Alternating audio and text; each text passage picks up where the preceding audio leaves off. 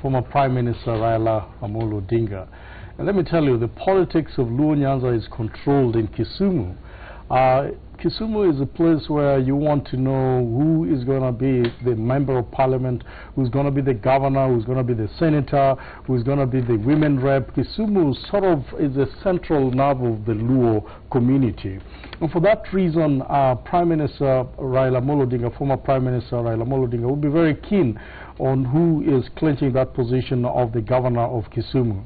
As it is, there's confusion. Confusion is Governor Jack Ranguma seemed to be having, uh, you know, having a warn in one side announced by the deputy registrar, uh, I mean deputy returning officer, and on the other hand, um, Professor Nyang' also declared the winner by registrar himself.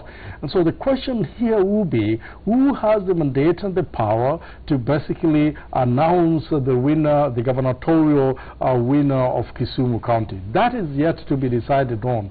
But remember, there are hierarchies here there is election um, uh, uh, election board, Kisumu election board that also controls the election in Kisumu.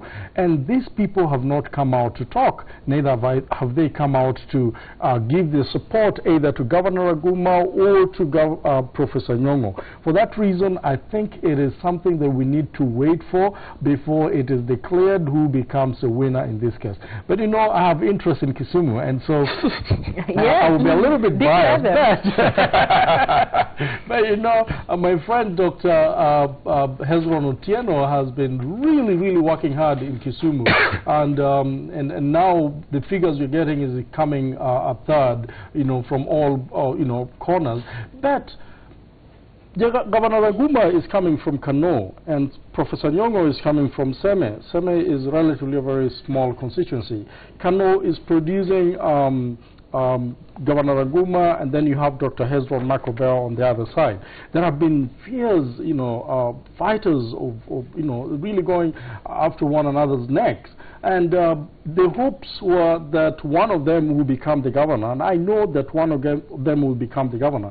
The problem, however, was complicated when uh, the senator, the strongest person who was running for the senatorial position, um, um, uh, Fred Outa, was also coming from Kano. And then you had uh, um, uh, the, um, the women rep also coming from Kano. And so at one point, people were wondering whether Kano was going to produce the women rep, the senator, uh, the um, the the um, the governor and, and as well as you know the other positions that are there. Right. But as it is now, what we are seeing is people have taken sides. Um, seems like uh, Dr. Marco, uh, uh, Hezron McObewa is, is quiet. I don't know what is, is, is doing now, but I believe you also need to come out with these figures and tell the world what is gotten out there. He must have been having agents in all the polling stations, and therefore you should be able to say, these are the numbers. If okay. Dr. McObewa says these are the numbers, uh, Ranguma says these are the numbers, and Professor Nyong'o says these are the numbers, I believe people will have to come down,